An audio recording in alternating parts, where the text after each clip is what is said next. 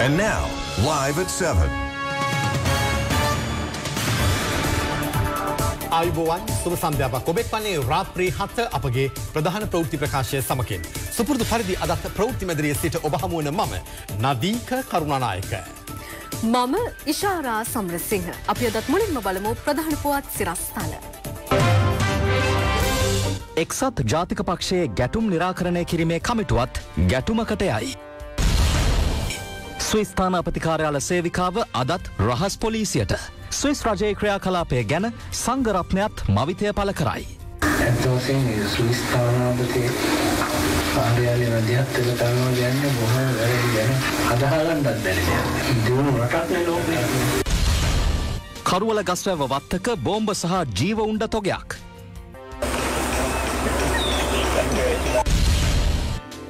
මිරිස්වලට පිටි සහ ලුණු කලවම් කිරීමේ මහා පරිමාණ ජාවාරමක සුළමුල හෙළිවෙයි.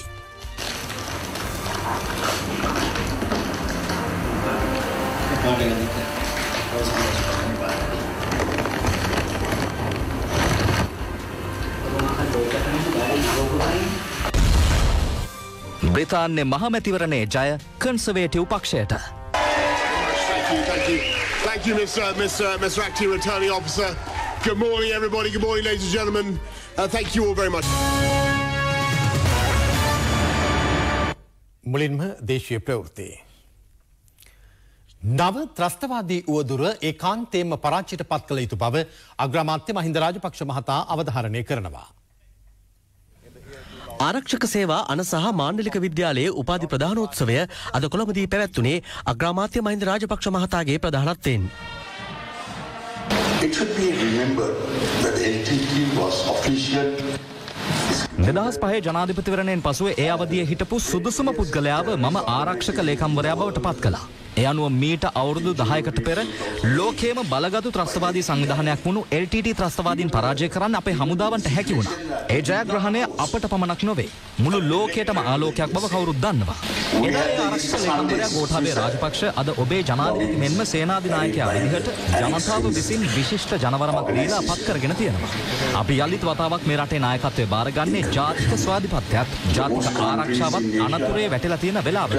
යුද ජයග්‍රහණයේ දසවැනි සංවත්සරයට දින ගණනක් තිබියදී ඉස්ලාමීය අන්තවාදී සංවිධානයක් පාස්කුරිදා බෝම්බ ප්‍රහාරයක් එල්ල කළා. එදා සටේදී මුම්බායි නගරයට එල්ල වුණු ත්‍රස්ත ප්‍රහාරයට ඉන්දියානු ජාතිකයන් සහභාගී වුණේ. ඒත් පාස්කුරිදා ප්‍රහාරයට සම්බන්ධ වුණු ත්‍රස්තවාදීන් සියලුම දෙනා ශ්‍රී ලාංකිකයෝ. මේ තර්ජනය අපේ රටට විතරක් නෙවෙයි කලාපයේ අනෙක් රටවල් වලටත්. මේ උවදුර පාලනය කරගන්න බැරි වුණොත් ඉන්දියාව මාලදිවයින මියන්මාරය තායිලන්තය මැලේසියාව වගේ අපට එපිටින් තියෙන රටවලටත් තර්ජනයක්. එනිසා මේ ත්‍රස්තවාදී උවදුර ඒකාන්තයෙන්ම පරාජය. අප අවට සිටින රටවල් මේ ගැන තේරුම්ගෙන අපට වෙලා බලාපොරොත්තු පුළුවන්. පසුගිය අවුරුදු පහක කාලයකදී අපේ රටේ අධ්‍යංශ අකර්මණ්‍ය කරලා තිබුණේ.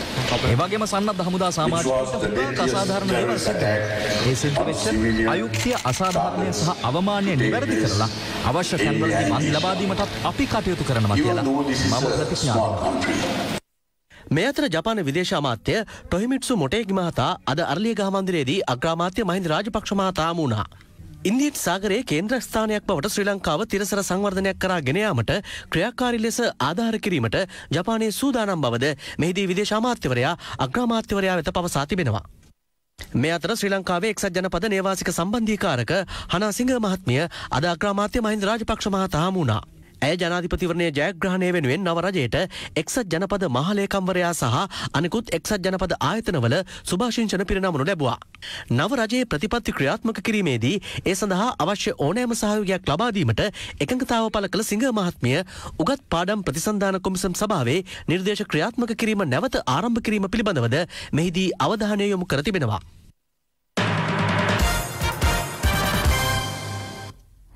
පැහැරගත් බව පවසන ස්විස්ටර්ලන්ත තානාපති කාර්යාල නිලධාරණය අද යළි අපරාධ පරීක්ෂණ දෙපාර්තමේන්තුව හමුවේ පෙනී සිටියා. අපරාධ පරීක්ෂණ දෙපාර්තමේන්තුවේ නිලධාරීන් අවස්ථා කිහිපයකදී පැහැරගත් බව පැවසෙන ගානියා බැනිස්ට ප්‍රැන්සිස් කොළඹ අධිකරණ වෛද්‍ය නිලධාරී හමුවට ඉදිරිපත් කෙරුණද ඊට අදාළ වාර්තා ඊයේ කොළඹ ප්‍රධාන මහේස්ත්‍රාත් අධිකරණයට ඉදිරිපත් කළේ නැහැ. ඊයේ රාත්‍රී සහ අද දහවල් ඇය යලි අපරාධ පරීක්ෂණ දෙපාර්තමේන්තුවට පැමිණියා. ඒ ස්විස් තානාපති කාර්යාලයට අයත් රථයකින්.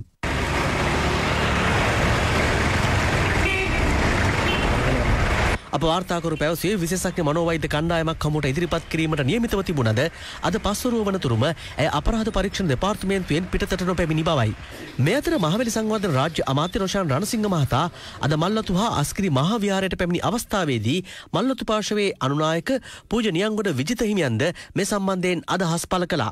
රටේ ඉතින් අපේ ආමතුරුනේ අවුරුදු 30ක් විතර ආපස්සට තවත් ඉතින් උපක්‍රම උපක්‍රම භාවිත කරනවා.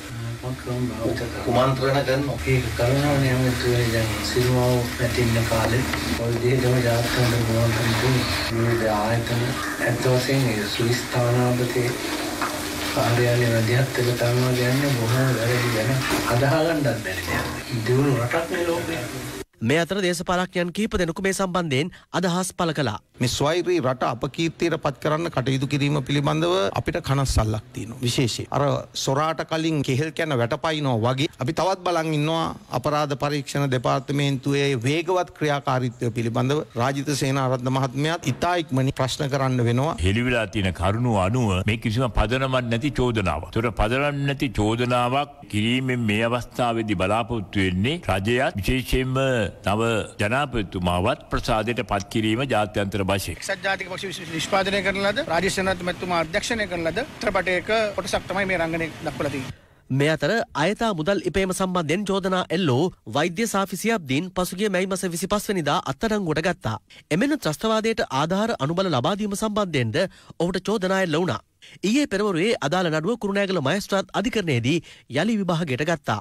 මෙහිදී අපරාධ පරීක්ෂණ දෙපාර්තමේන්තුව අධිකරණයට පැවසුවේ නව අපරාධ පරීක්ෂණ කණ්ඩායමක් යටතේ එකී විමර්ශන සිදු කරන බවයි. අපරාධ පරීක්ෂණ දෙපාර්තමේන්තුව වෙනුවෙන් නව අධ්‍යක්ෂවරයා එතුමා කිව්වා කතාවක් පොලිසියේ හදවත වූ අපරාධ පරීක්ෂණ දෙපාර්තමේන්තුව රටේ විශ්වාසය තහවුරු කළ යුතුයි. මං හිතන්නේ අන්න එතෙන්ට ඇවිල්ලා තියෙනවා අපි ඒක සතුටු වෙනවා විශේෂයෙන්ම හේතුව පහුගිය කාලය පුරාවටම කන්දප්පා ඒස්පි තිසේරා සානි අබේසේකර විසින් මේ ලංකාවේ තිබුණු නීති පොත් පැත්තට විසික් කරලා දාලා ඒවා මෙහෙවපු රාජ් සේනාරත්න වැනි ඉසත් බදුරුදීන් වැනි මේ දේශපාලන අතකොළු වලට ජාතිවාදීන්ගේ අතකොළු වලට මුවා වෙලා ඔවුන් නීතිපොත් විසි කරලා කුණු කුඩේට දාලා ඔවුන්ගේ නීතිපොත් හදාගෙන ඔවුන්ට ඕන විදියට කටයුතු කිරීමක් කරේ. අපරාධ පරීක්ෂණ දෙපාර්තමේන්තුව විසින් නිලධාරීන්ගෙන් ප්‍රකාශයන් ලබා ගත්තා. ඒ ප්‍රකාශයන් ලබා ගන්න අවස්ථාවේදී සැකකාර සාපිසාබ්දින් වෛද්‍යවරයා ළඟ තියාගෙන තමයි මේ ප්‍රකාශ ලබාගෙන තියෙන්නේ. ඒ බව කුරුණෑගල මූලස්ථාන පොලිසියේ බැහැර යාමේ ලේඛනවල එකින් නිලධාරීන් සටහන් කරලා තියෙනවා. සෑම මිනිස්සෙකුටම සාධාරණයේ තිබිය යුතුයි. සෑම මනුස්සයෙකුටම සාධාරණයෙන් ජීවත්වීමේ අයිතිය තිබිය යුතුයි. එනිසා කූට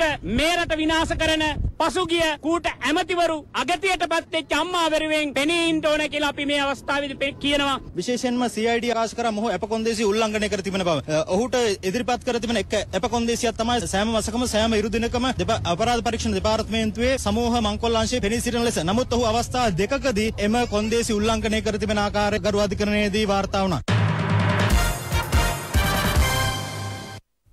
එක්සත් ජාතික පක්ෂවේ නායකත්වය සජිත් ප්‍රේමදාස මහතාට බහරදන ලෙස ඉල්ලමින් එම පක්ෂයේ කෘත්‍යාධිකාරී මණ්ඩලයේ සමාජිකයන් විසිහය දෙනෙකුගේ අත්සනින් යුතු ලිපියක් අද එම පක්ෂ මන්ත්‍රී කණ්ඩායමක් විසින් පක්ෂ මූලස්ථානයට බහර දී තිබෙනවා.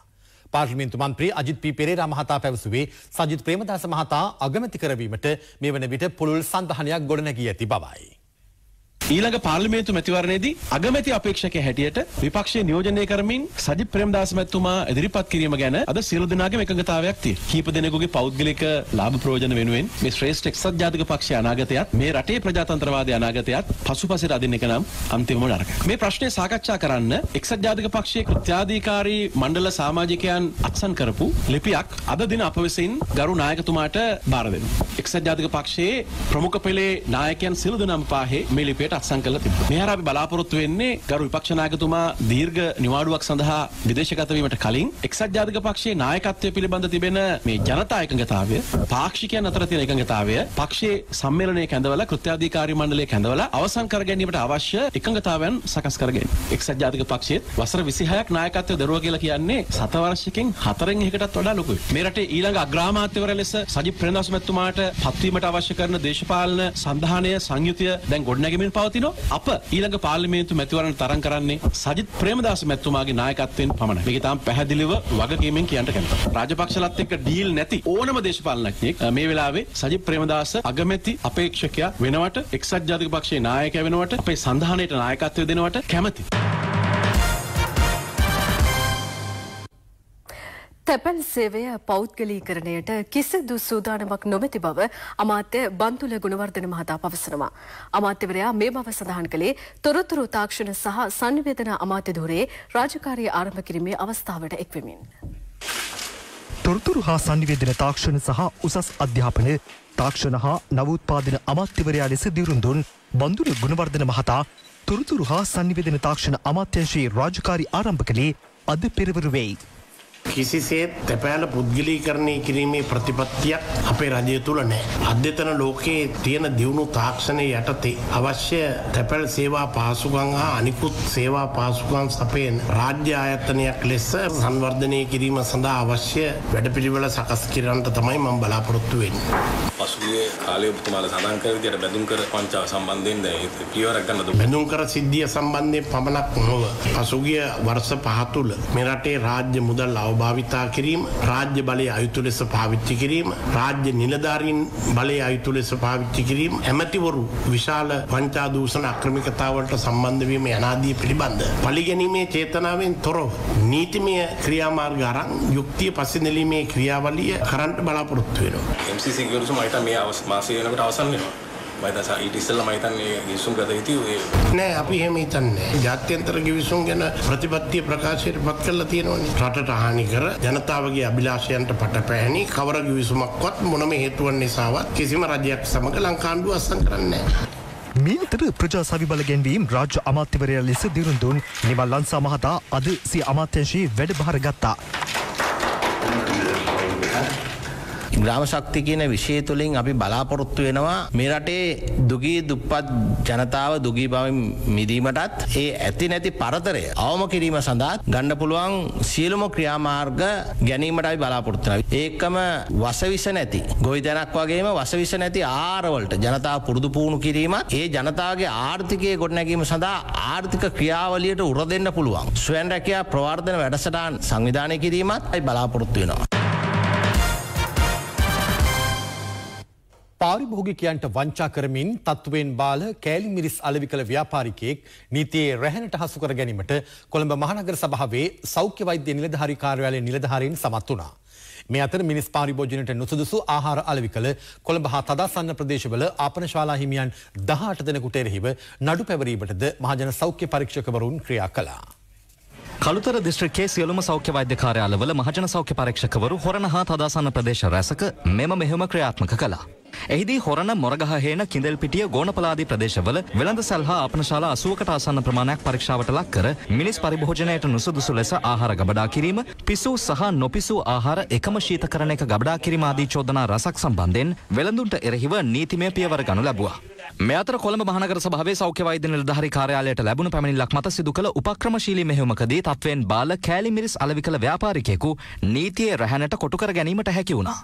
රුපියල් හත්සියක් මිල ලකුණු කර තිබූ කෑලිමිරිස් කිලෝවක පැකටුවක් රුපියල් තුන්සිය විස්සක් වැනි මිලකට අලවි කරන බවට ලැබුණු පැමිණිල්ලකට අනුවයි උපක්‍රමශීලීව මෙම වැටලීම සිදු කරනු ලැබුවේ. එහිදී ඒවා අදාළ ව්‍යාපාරිකයාද සමග අත්අඩංගුවට ගැනීමට නිලධාරීන්ට හැකි වුණා. මෙහිදී අනාවරණය වුණේ අඩුමිලට අලවි කළ මෙම කෑලිමිරිස් වලට තිරිංගු ඇට ඇතුළු වෙනත් දේ කලවම් කර ඇති බවයි.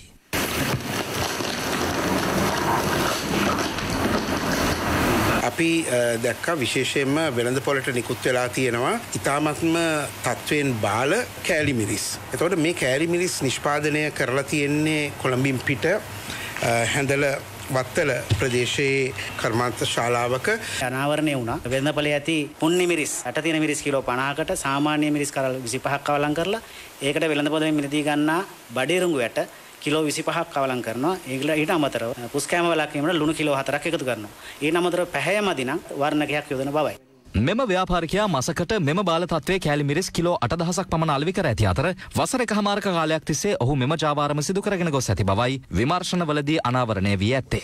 ගෙදරදී ගලු අපේ ගෘහණියන් ඔයලාට තමන්ගේ සෝමපටිසයෙන් අවලත් නගනවා හොද්දට ලුණු වැඩි කියලා. තමයි ඒකට හේතුලා තියෙන මේ මේකේ ලුණු තියෙනවා. අමතරව ගෙදර ගෘහණියන් ලුණු දානවා. එතකොට ඇත්තටම ලුණු වැඩි වෙනවා. ඒ නිසා අපි විශේෂයෙන්ම කියනවා වෙළඳපොලේ මිලදිරි ගන්නකොට අඩු මිලට තියෙන ඒවා ගන්න එපා කියලා. අතඩංගුටගත් අදාළ ව්‍යාපාරිකයා අධිකරණයට ඉදිරිපත් කිරීමෙන් අනතුරු රුපියල් ලක්ෂ දෙකක ශරීර ඇප සහ රුපියල් දස දහසක මුදල් ඇප මත මුදා හැරීමට මාලිගා කන්ද මහේස්ත්‍රාත් අධිකරණය කටයුතු කළා.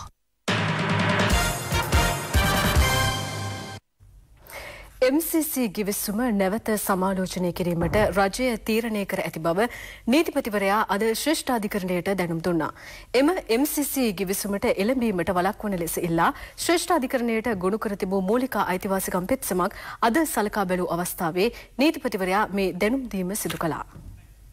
රජයේ වෛද්‍ය නිලධාරීන්ගේ සංගමය ඇතුළු පාර්ශව කිහිපයක් මිලේනියම් චැලන්ජ් ගිවිසුමට එරෙහිව මේ පෙත්සම ශ්‍රේෂ්ඨාධිකරණය හමුවේ ගොනු කර තිබුණා. එහිදී කරුණු දැක්වූ රජයේ අතිරේක සොලිසිටර් ෆසානා ජමිල් මහත්මිය ප්‍රකාශ කළේ අදාළ ගිවිසුම යලි සමාලෝචනය කිරීමට ආණ්ඩුව තීරණය කර ඇති බවයි. එතෙක් මෙම ගිවිසුම අත්සන් කිරීම සම්බන්ධයෙන් තීරණයක් ගෙන නොමැති බවත් ඇයි නීතිපතිවරයා වෙනුවෙන් ශ්‍රේෂ්ඨාධිකරණයට දැනුම් දුන්නා. පෙත්සම ලබන විසිපස් වනදා යළි කැඳවීමට නියමිතයි. නඩුව සම්බන්ධව අද දින පංචපුද්ගල ශ්‍රේෂ්ඨාධිකරණ විනිසුරු මණ්ඩලයක් එතුමන්ලාගේ අවධානයට යොමු කරනු ලැබුවා නඩුව කැඳවුණු අවස්ථාවේදී මේ අවස්ථාවේදී රජය වෙනුවෙන් පෙනී සිටි අතිරේක සොලිසිටර් ජෙනරාල් තුමිය ප්‍රකාශ කරා මේ MCC ගිවිසුම සම්බන්ධව මේ වන විට රජයේ අවධානය යොමු වී තිබෙනවා. ඒ සම්බන්ධව විශ්ලේෂණය කිරීමට සහ එහි හොඳ නරක පිළිබඳව අධ්‍යයනය කිරීමට. ඒ වගේම අධිකරණයට දැනුම් දුන්නා. මෙම තියෙන තත්ත්වයෙන් දැනට MCC ගිවිසුම අත්සන් කිරීමට රජයේ බලාපොරොත්තුවක් නැති බව. ඒ අනුව නැවත නඩුව කැඳවෙනවා මාර්තු විසිපස් වෙන දින. ඊට කලින් යම්කිසි ආකාරයකින් රජයේ මේ පවතින තත්ත්වයෙන් MCC ගිවිසුම අත්සන් කරන්නේ නම් පෙත්සම්කරුවන් අයිතිය රඳවා ගත්තා අධිකරණයට ඇවිල්ලා ඒ පිළිබඳව කරුණු දක්වලා ඒ අභියෝගයට ලක් කිරීමට මොනරාගල සහ වෞනියාව ඇතුළු දිස්ත්‍රික්ක කිහිපයකින් යළිත් වරක් සේනා දළඹු උවදුර වාර්තාවමින් පවතිනවා. සේනා දළඹු උදුර පාලනය කිරීමේ කමිටුවේ ප්‍රධානී නියෝජ්‍ය කෘෂිකර්ම අධ්‍යක්ෂ අනුර විජේතුංග මහතා පැවසුවේ සමස්ත වගාවෙන් සියයට පහක පමණ ප්‍රමාණයකට උවදුර මේ වන විට පැතිර ගොස් ඇති බවයි. සේනා දළඹ උදර සම්බන්ධයෙන් යළිත් වරක් කතාබහක් ඇති වුණේ එම උවදුර යළිත් ව්‍යාප්තවීමේ අවධානමක් පවතින බවට ස්වර්ණවාහිනිය පසුගිය බදාදා කළ හෙළිදරව්වත් සමගයි. මෙම හෙළිදරව්වෙන් අනතුරුව ඒ පිළිබඳව මොනරාගල දිස්ත්‍රික් කෘෂිකර්ම අධ්‍යක්ෂවරයාගේද අවධානය යොමු වුණා. සේනාදල වුවදුර ස්වර්ණවාහිනී මාධ්‍ය ප්‍රවෘත්ති විකාශයත් එක්ක දැනගන්න ලැබුණු වහාම ඒ පිළිබඳව ඌව පළාත් නියෝජ්‍ය විශ්‍රම අධ්‍යක්ෂ වරයාගෙන් විමසීමක් කරා. ඒ අනුව දැනගන්න ලැබුණ තත්ත්වය තමයි ඔය කියන ප්‍රදේශයේ සේනාදලබු හානිය වාර්තාලා තිනවා 105කට පමණ ආසන්න ප්‍රමාණයක්. තවත් ප්‍රදේශවල මේ දිනවල තනින් තන සේනාදලබු වුවදුර වාර්තා වෙනවා. ගියවරමෙන් මෙවරද මොනරාගල දිස්ත්‍රික්කේ බඩිරංගු වගා කළ ගොවින් බොහෝ පිරිසක් මෙම වුවදුරට මුහුණ පා සිටිනවා. ඔවුන් පෙන්වා දෙන්නේ මේ වන විට තම වගාවන් දැඩි ලෙස සේනා දළඹුවාගේ ග්‍රහණයට හසු ඇති බවයි. ගිය අවුරුද්දේ අපිට ගොවි පාලි දුන්නේ නැත්නම් සේනා දල්බුව කෑවට. මේ අවුරුද්දේ කවුරුත් ආවේ නැහැ බලන්නවත්. අපි ඉරුඟු පැකට් එකක් ගන්න ඕන 7500යි 8500යි හෝරමිටියක් කීයද බලන්නකෝ? පැකට් හතරක් හිටවනවා කියනකොට ඉතින් ඒක ආදායමත් අපිට එන්නේ නැහනේ. මේ අවුරුද්දෙත් මේ දේ වෙනවා. ඊට පස්සේ ලබන අවුරුද්දෙත් මේ දේ වෙනවා. එහෙම දිගෙන් දිගට මේ දේ වෙන්න ගත්තට පස්සේ ගොවියා අසරණ වෙනවනේ. ගොවියා අසරණ කරන්නේ නැතුව අපිට මේකට ලොකු සහනයක් ලබා දෙන කියන දේ තමයි අපි කියන්නේ මේ සම්බන්ධයෙන් අප කළ විමසීමකදී සේනා දළමු මර්ධන ඒකකේ ප්‍රධානී අනුර විජේතුංග මහතා පැවසුවේ තම දෙපාර්තමේන්තුවේ උපදෙස් පිළිපදමින් නියමිත කාලයට වගාවන් නොකළ ගොවීන්ගේ වගාවන් මෙම උවදුරට මුහුණ පා ඇති බවයි. කෘෂිකර්මයකින් උපදෙස් දුන්නද වගා කිව්වේ නැහැ. වගා කරන්න එපා කියලා කිව්වෙත් නැහැ. කෘෂිකර්මයකින් කිව්වද මේ සැරේ වගා කරන්න එපා කියලා කිව්වද නැත්නම් ඔකට වගා කරන්න කියලාද කිව්වද? ඒගොල්ලෝ අපිට මොකුත් කිව්වේ නැහැ. මොකුත්ම කිව්වේ නැහැ. මෙම තත්ත්වය මොනරාගල වවුනියාව ඇතුළු දිස්ත්‍රික්ක කිහිපයකම දකින්නට ලැබෙනවා. නිසි ක්‍රමවේද අනුගමනය කරලා මේ කළමනාකරණය කර ගැනීමේ හැකියාව තියෙනවා. අපි කිසිසේත්ම බලාපොරොත්තු වෙන්නේ නැහැ. පසුගිය මහකන්නේදී වගේ මේ මහකන්නේදී වසංගත තත්ත්වයක් කරා එළඹී කියලා. එක්සත් ජාතික පක්ෂයේ ප්‍රතිසන්ධානය වෙනුවෙන් පත් කළ සත්පුද්ගල කමිටුවේ සාමාජිකින් දෙදෙනෙකු එම වගකීම පැහැර හැර කමිටුවේ කටයුතු වලට අකුල් හෙලා ඇති බවට අදාළ කමිටුවේ තවත් සමාජිකින් කිහිප දෙනෙකු චෝදනා කරනවා. කමිටු සාමාජිකයින් වන ලක්ෂ්මන් කිරි ඇල්ල ආශු මාරසිංහ සහ වජිර අබේවර්ධන යන මහත්වරුන් පවසන්නේ රංජිත් මද්දුම් බණ්ඩාර සහ තලතා අතුකෝරල යන අය කමිටුවේ සමාජිකත්වයට පිටුපා ඇති බවයි. එජාප නායකත්ව අර්බුදය. ජනාධිපතිවරණයෙන් පසුව එක්සත් ජාතික පක්ෂයේ ප්‍රතිසන්ධානයට අදාළ කමිටු පත් කෙරුණේ ලක්ෂ්මන් කිරියල්ල ආශුමාරසිංහ මලික් සමරවික්‍රම රංජිත් මද්දුම බණ්ඩාර තලතා අතුකෝරාල අජිත් පී පෙරේරා සහ වජිර අබේවර්ධන යන අයගේ සහභාගිත්වයෙන්. එහෙත් කමිටු රැස්වීම් දෙකින් පසු ඊයේ එහි කමිටු සාමාජිකයන් දෙදෙනෙක් මාධ්‍ය හමුවක් ඇඳවා මෙලෙස ප්‍රකාශ කළා. පික්සත් ජාතික පක්ෂයේ මහලේකම්තුමා ප්‍රකාශ කරලා තිබ්බා ඊළඟ මහමැතිවරණට යන්නේ රනිල් වික්‍රමසිංහ මැතිතුමාගේ නායකත්වයෙන් කියලා. මම හිතන අපේ පක්ෂේවත් කෘත්‍යාධිකාරී මණ්ඩලයේවත් ජාතික සම්මේලනයේවත් එවැනි තීන්දුවක් කරන් තිබ්බේ නැහැ. ඒ සම්බන්ධව තමයි කමිටුවක් පත් කරේ. ඒ කමිටුවේදී අපි පැහැදිලිව ප්‍රකාශ කරා අපේක්ෂකයා සජිත් ප්‍රේමදාස මැතිතුමා නම් එතුමා මේ පක්ෂයේ නායකයා විය යුතුයි. කරේ අර වගේ තීරණයක් කොහෙවත් ගත්තේ නැහැ. පක්ෂයේ බෙදීමක් නැහැ. පක්ෂේ 100%ක් ඉල්ලන්නේ සජිත් ප්‍රේමදාස ගමේ ඉන්න නායකයෝ. අපි මේ ඇත්ත වෙන දේ අපි කිව්වේ නැත්තම් ඊට වැඩිය බැලරුම් තත්ත්වයකට යන්න වෙයි රනිල් වික්‍රමසිංහ මහත්තයාගේ නායකත්වය යටතේ අපිට යන්න සිද්ධ වුණා. මේ පක්ෂය ભેද බින්න කරන්නවත්, කට්ටියක් ඉවත් කරගන්නවත් එහෙම වැඩසටහනක් මේකේ කොහෙවත් නැහැ. ඇත්තටම සජිත් ප්‍රේමදාස මන්ත්‍රීතුමාගේ එක කොහෙවත්ම නැහැ. එතුමාට මේ එක ගමනක් යන්න. කල්මැරීම සම්බන්ධයෙන් පක්ෂේ මහලේකම්වරයා හැටියට අකිල විරාජකාරී වසම් මන්ත්‍රීතුමා උත්තරයක් මේ පිළිබඳව ලක්ෂ්මන් කිරියල්ල ආශුමාරසිංහ සහ වජිර අබේවර්ධන යන අය ඒකාබද්ධව පවසන්නේ අදාළ මාධ්‍ය හමුව මගින් කමිටුවේ වගකීම් පැහැරහැරීමක් සිදු කර ඇති බවයි. එසේම එය ප්‍රතිසංවිධාන වැඩපිළිවෙලට අකුල් හෙලීමක් බවත් ඔවුන් පවසනවා. කමිටුවේ සාකච්ඡා කරපු සියලුම දේවල් ඒ කමිටුව තුළ රැඳෙන්න ඕන කියලා විශ්වාස කරනවා. අපි විශ්වාස කරනවා ඒ කමිටුවේ සමාජිකයන් මෙන් මෙන් වශයෙන් ප්‍රකාශන කිරීම සදාචාර සම්පන්න නැහැ කියලා. බලාපොරොත්තු වෙන්නේ පක්ෂයේ සමගියෙන් කමිටුවට එකතු කරලා ඉදිරි මැතිවරණයට මුහුණ දීලා අපේ ඉලක්කය වන 113 ගේ ඉලක්කයට යෑමයි. මේ අතර එක්ෂත් ජාතික පක්ෂ පාර්ලිමේන්තු මන්ත්‍රී රංජිත් මධුම බණ්ඩාර මහතා මෙලෙස අදහස් පළ කළා. පක්ෂ මහලේකම්තුමා ප්‍රකාශයක් කරලා තියෙනවා ඉදිරි මහමැතිවරණය රනිල් වික්‍රමසිංහ මැතිතුමාගේ නායකත්වයෙන් මෙහෙයවීමෙන් තමයි තියෙන්නේ කියලා. මම හිතනවා අපේ ප්‍රශාසකරණ කමිටුව එහෙම තීරණයක් ගත්තේ නැහැ. එවැනි තීරණයක් ගන්න නැතුව මෙවැනි ප්‍රකාශ කිරීම සුදුසුද කියලා අපි අහනවා. ඒ වගේම අපේ කමිටුවේ හිටපු වජිර අබේවර්ධන මගේ මිත්‍රයා මේ කමිටුවේ රැස්වීම ඉවර වෙච්ච ගමන් මාධ්‍යයට ගිහිල්ලා ප්‍රකාශ කරලා තියෙනවා දේශපාලන පරිණතභාවය සම්බන්ධව. මහන්නේ එහෙමනම් මෙයා ඉස්සෙල්ලාම තමන්ගේ දෙසර ඇඟිලි දික් කරන්න. ඒ වගේ ජනතාව නොමග යවන ප්‍රකාශ ප්‍රකාශ කරපු නිසා තමයි අපිට සිද්ධ වුණේ මාධ්‍ය හමුවක් ගෙනල්ලා ජනතාවට ඒ සත්‍යය හෙළි කරන්න. හිටපු අමාත්‍ය රාජිත සේනාරත්න මහතා රුපියල් ලක්ෂ තිස් දහසක මුදලක් අවභාවිත කර ඇති බවට ජාතික නිදහස් පෙරමුණ අද අපරාධ පරීක්ෂණ දෙපාර්තමේන්තුවට පැමිණිල්ලක් ගොනු කළා. මේ අතර තාජුටීන් ඝාතන සිද්ධියට අදාළව ප්‍රථමයෙන් පරීක්ෂණ පැවැත් වූ නාරාහිම්පිට පොලිසියේ අපරාධංශයේ ස්ථානාධිපතිවරයා අද තමන්ට සිදු වූ බලපෑම් සම්බන්ධයෙන් අපරාධ පරීක්ෂණ දෙපාර්තමේන්තුවට පැමිණිල්ලක් ගොනු කළා. තාජුඩීන් ගහතන සිද්ධිය සම්බන්ධෙන් ප්‍රථමෙන් පරීක්ෂණ පැවැත් වූ නාරහෙන් පිට පොලිසිය අපරාධංශයේ හිටපු ස්ථානාධිපතිවරයා පසුගිය නොවැම්බර් 28 වෙනිදා සිදු කළ හෙළිදරව්ව සම්බන්ධෙන් පරීක්ෂණයක් සිදු කරන ලෙස ඉල්ලා අද රහස් පොලිසියට පැමිණිල්ලක් ගොනු කෙරුණා. නාරහෙන් පිට පොලිසිය අපරාධංශයේ හිටපු ස්ථානාධිපතිවරයා සහ සත්‍ය ගවේෂකයෝ සංවිධානයේ කැඳවුම්කරු නීතිඥ ප්‍රේමනාත්සිය දොළවත්ත මහතා ඇතුළු පිරිසක් මෙම පැමිණිල්ල ගොනු කළා. අපරාධ පරීක්ෂණ දෙපාර්තමේන්තුවේ අධ්‍යක්ෂකවරයා ඇතුළු ප්‍රධාන නිලධාරීන් විසින් ඒ එල්ල කරන ලද බලපෑම් සම්බන්ධයෙන් ඔහු අනාවරණ කරා කාරණා. ඒ සම්බන්ධයෙන් මොහුගෙන් පැමිණිල්ලක් ආකාරයෙන් අද දිනේ ප්‍රකාශටහන් කරගත්තා. හිටපු අමාත්‍ය රාජිත සේනාරත්න මහතාට එරෙහිව මූල්‍ය අවභාවිතාවක් සම්බන්ධයෙන් පැමිණිලි කිරීම සඳහා ජාතික නිදහස් පෙරමුණේ මාධ්‍ය ප්‍රකාශක මොහමඩ් මුසම්මිල් මහතා අද පොලිස් මූල්‍ය අපරාධ කොට්ටාසයට පැමිණියා. කෙසේ වෙතත් මූල්‍ය අපරාධ කොට්ටාසයෙන් දැනුම් දී තිබෙන්නේ පැමිණිලි බහර නොගන්නා බවයි. එ අනුව මුසම්මිල් මහතා අපරාධ පරීක්ෂණ දෙපාර්තමේන්තුවට පැමිණ මේ පිළිබඳව පැමිණිලි කළා. ආජිත සේනාරත්න අමාත්‍යවරයා මේ නෙවිල් පනාන්දු රෝහල රජයට පවරාගත්තයි කියලා බොරු කියලා අදටත් පෞද්ගලිකාංශයට අයිති ඒ රෝහල වෙනුවෙන් මසකට පරිපාලන වියදම් වශයෙන් රුපියල් ලක්ෂ 2000ක් වියදම් කළා. ඒ වගේම මසකට ඖෂධ සඳහා වියදම් වශයෙන් රුපියල් ලක්ෂ 500ක් වියදම් කළා තිබෙනවා. රාජ්‍ය සේවයේ නියුතු හෙදියම්ව මේ පෞද්ගලික රෝහලේ හෙද කාර්ය සඳහා යොදවලා තිබෙනවා. ඔවුන්ට සෞඛ්‍ය අමාත්‍යාංශයෙන් වැටුප් ගෙවලා තිබෙනවා. වසරකට ගත්තොත් ලක්ෂ 30000ක මුදලක් අවභාවිතාව සිද්ධ කරලා තිබෙනවා. කඩිනම් පරීක්ෂණයක් පරීක්ෂණයක් කරලා උන්ට විරුද්ධව නීතිමය ක්‍රියාමාර්ග ගන්න සහකාර පොලිස් අධිකාරීවරයෙකු ඇතුළු පොලිස් නිලධාරීන් තුත් දෙනෙක් පාස්කු ඉරිදා ත්‍රස්ත ප්‍රහාරය සම්බන්ධයෙන් විමර්ශනය කරන ජනාධිපති කොමිෂන් සභාවට පැමිණ අද සාක්ෂි ලබා දුන්නා. මේ අතර ඊයේත් පොලිස් නිලධාරීන් පස් දෙනෙක් කොමිසම හමුවේ සාක්ෂි ලබා දුන්නා. පාස්කුවර දින ත්‍රස්ත ප්‍රහාරය සම්බන්ධයෙන් සොයා බැලීමට පත් කෙරුණු ජනාධිපති කොමිසම අභ්‍යාචනාධිකරණ විනිසුරු ජනග්‍ර සිල්වා මහතාගේ ප්‍රධානත්වයෙන් අදත් රැස් වුණා.